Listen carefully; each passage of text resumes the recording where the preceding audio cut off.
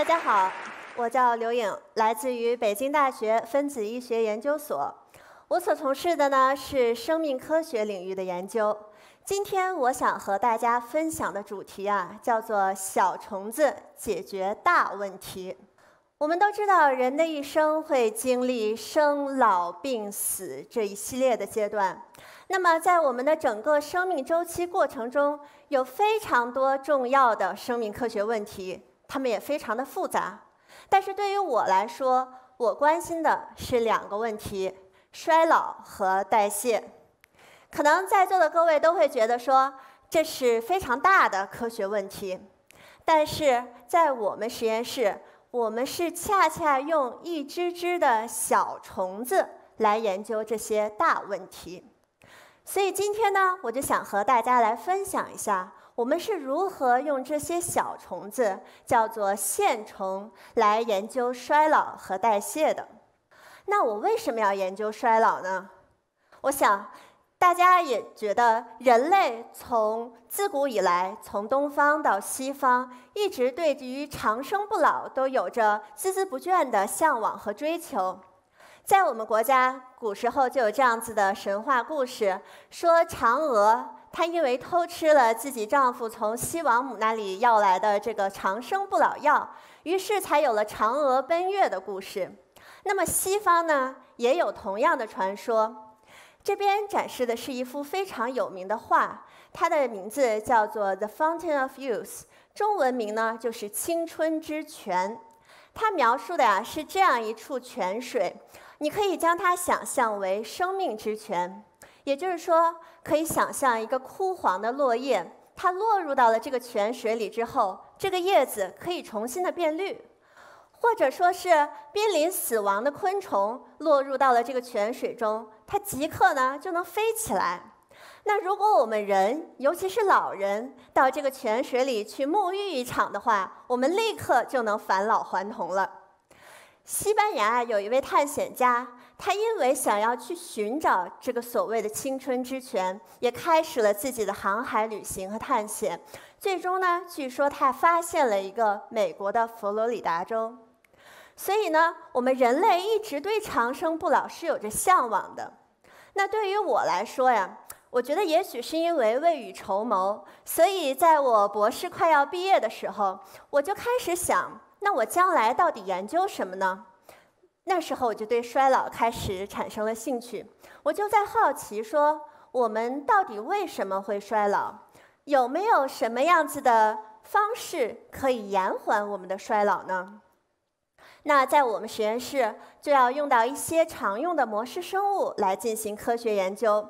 这里呢，我给大家展示的是在生命科学领域里面比较常见的模式生物。你可以看到，从左到右有细菌、有酵母，还有我们常用的线虫，然后呢还有果蝇、有斑马鱼、小鼠以及猴子。那我自己课题组啊。主要是用线虫来进行衰老的研究的。为什么选择线虫呢？先来让我对线虫进行一个介绍。我们的这个线虫，它的学名比较长，叫做秀丽隐杆线虫。它其实在我们的自然界中是广泛分布的。即使是在我们室外的土壤中，其实我们也是能够分离到线虫的存在的。但是大家一定不要觉得这个线虫可能是那些那种爬行的、嗯蠕动的、非常让你觉得很恶心的小虫子。其实啊，它们非常小。这些线虫它的成虫也就大概只有一毫米那么长。我们经常是需要借助显微镜才能对线虫来进行观测的。那左边的这个图呢，就是我们在显微镜下看到的线虫的样子。可以看到，它其实是存在着两种形态的。那种比较大的形态是雌雄同体，比较小的那个虫子呢是雄虫。在自然界中啊，雌雄同体占了绝大多数，可能有超过百分之九十八的虫子都是以雌雄同体的方式来存在的。线虫呢，在实验室是非常好培养的。我们一般啊，就常用的是这种圆形的、直径呢在几厘米到十几厘米的塑料的培养皿。然后在这个培养皿里面，我先给它铺上一层琼脂。琼脂上面我再铺上一层细菌，我就可以培养线虫了。因为呢，线虫是以细菌作为食物的，而琼脂的存在可以同时为线虫和细菌提供它们所需要的其他的一些营养物质。所以说，在我们实验室这一个个小的培养皿，其实就是线虫它们的生长环境。那为什么我选择线虫来研究衰老呢？我觉得一个最关键的原因啊，就是它们的生命周期非常短。我们可以看到，就是线虫当它从卵里孵化出来的时候，它会经历四个幼虫期，分别呢，我们可以将它命名为 L 一、L 二、L 三和 L 四。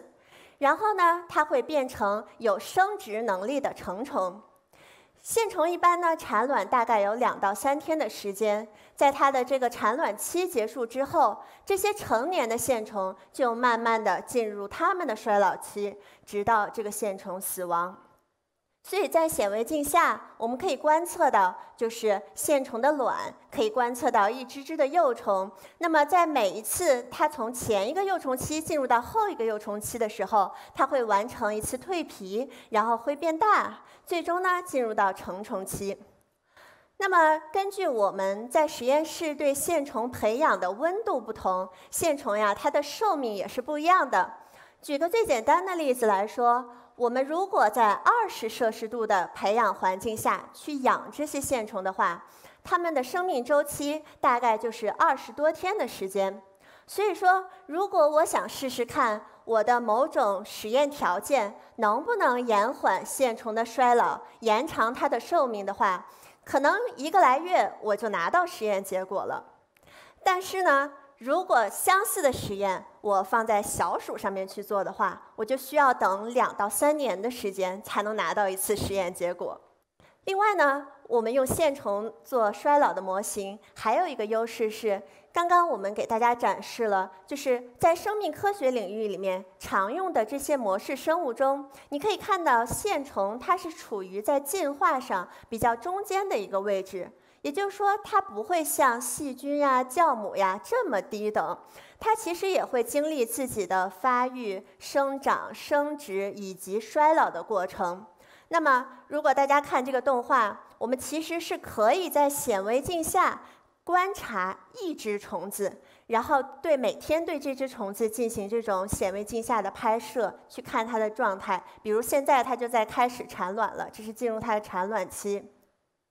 产卵期结束之后呢，这只虫子慢慢的成年的虫子开始衰老。你看它衰老的时候，也出现很明显现象，就是它运动明显的减慢了，它不怎么动了，而且它的进食也明显的减少了。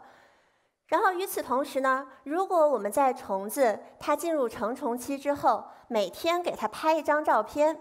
然后把他年轻的时候的照片啊，和他老年的时候的照片排列在一起，从上而下排在一起的时候，我们发现一个很明显的现象，就是老年的虫子它明显的缩短了。它的个子变矮了，然后呢，它的皮肤也出现了褶皱，包括它自己内部的肠道的这些组织结构也发生了巨大的改变。就是说，线虫它的衰老在很多形式上和人是有相似之处的，所以我们觉得在线虫上做衰老的研究，可能我们的研究成果是可以应用到高等生物上面的。那么我们怎么样用线虫来研究衰老呢？这里就借助到了一种基因突变的形式。那么基因大家应该都知道，它是指携带有遗传信息的这一段 DNA 序列。基因突变呀，其实在自然界中，在进化的过程中是经常会存在的。举一个例子来说，我们可以看到这张图的背景是灰白色的，它其实是一个灰白颜色的树干。那如果大家仔细看的话，其实在这个树干上是趴着一只飞蛾的。这是一种在英国非常常见的飞蛾。但是呢，因为这些蛾子它自己本身的颜色和树干的颜色非常接近，这是它的保护色，使得呢它能够避免被自己的天敌发现，避免自己被捕食。但是啊，随着英国工业革命的发展，环境被污染了。我们的树干从灰白色被污染成了黑色，那么这只白色的蛾子如果再趴在黑色的树干上的时候，不耽误我们了，它的天敌就很容易的发现这只飞蛾，并且能够将它吃掉，所以对于它们来说是非常不利的。那么这么一大批的飞蛾中，就有某些产生了基因的突变。这个突变就导致能够控制它身体颜色的基因发生了改变，使得它呢从白色的飞蛾变成了黑色的飞蛾。所以大家可以看到，在这张图上是有一个黑色的飞蛾隐藏在这里的。因为这种基因的突变，使得它的颜色又重新的接近于这种树干的颜色，重新的产生了保护色。所以说，对于飞蛾来说，这种基因突变是对于它是有利的。那么，因为在自然界中啊，这种基因突变的频率是非常低的。所以在实验室中，我们为了提高基因突变的一个频率，常常呢是用化学试剂来对这一只小虫子进行处理，提高它的突变频率。所以我们用这种方式叫做化学诱变。其实我就想起我小时候经常看的一部动画片，就是这个忍者神龟。因为这四只忍者神龟，它其实本身就是一个基因突变产生的产物，然后基因突变使得它们具有了超能力。其实，在实验中啊，我们也是希望去发现一些具有超能力的线虫。那么，我们关注的超能力是什么呢？就是那些能够延缓衰老、延长线虫寿命的这样子的超能力。通过这种化学诱变产生基因突变的方式啊，科学家确实也发现了有突变的虫子能够显著的延长寿命。比如说，在这张图右边，我们给大家看的就是线虫它的生命曲线。这个图的横坐标呢，就是线虫它生长的日期，就是天数；然后纵坐标呢，就是指在这么一个培养皿里，大概有百分之多少的虫子还是活着的。所以我们可以看到，每一个白色的小方框组成的这个曲线呀，就是正常的在野外正常生长的野生型的线虫它的生命曲线。那么在刚开始的几天，我们可以看到百分之百的线虫它都是活着的。可是随着时间的推移，有的线虫就开始死掉了。到了二十天左右的时候，可能大概就只有百分之五十的线虫还是活着的。然后到了三十天左右的时候，基本上所有的线虫就都死掉了。但是呢，科学家经过筛选，发现了有一个基因突变的虫子，这个基因叫做 DAF2。那么它的突变虫子的生长曲线是我们黑色方框展示出来的这条曲线。你可以看到，这种虫子它的寿命很明显的被延长了，一直到八十天左右的时候，这些虫子才全部死掉。也就是说，它的寿命被延长到原来的大概是两点五倍这么多了。那么，除了 DAF2 这个基因之外，科学家其实也筛选到了一些其他的基因。那我再举个例子，这个基因呢叫做 EAT2。所以这里呢展示的白色方框依然是我们正常的野生型的虫子的生长曲线，然后另外四组呢是这个带有 EAT2 基因突变的四株突变线虫的生长曲线。那么这个 EAT2 基因的突变，同样的也很快的延长了线虫的寿命。EAT 这个词，如果大家对英文比较了解的话，它其实就是我们中文的意思意思上的吃。那么 eat to 这个基因导致的结果是什么呀？就是线虫吃的少了，所以说它就间接的模拟了一种热量限制性的进食。用通俗的话来讲，就是，呃，适当的节食。所以说我们在线虫上的这个发现，就告诉我们，也许适当的节食或者是热量限制性的进食，可以延长一个物种的寿命。